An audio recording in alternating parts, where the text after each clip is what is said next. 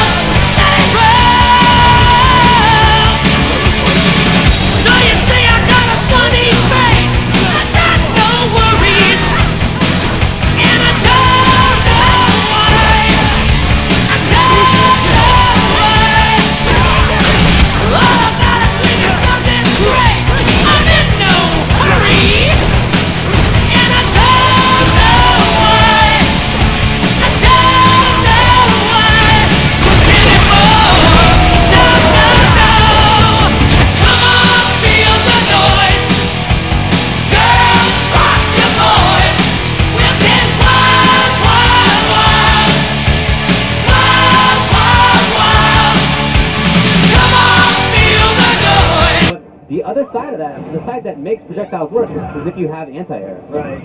And he doesn't really. Oh, baited it out. What's the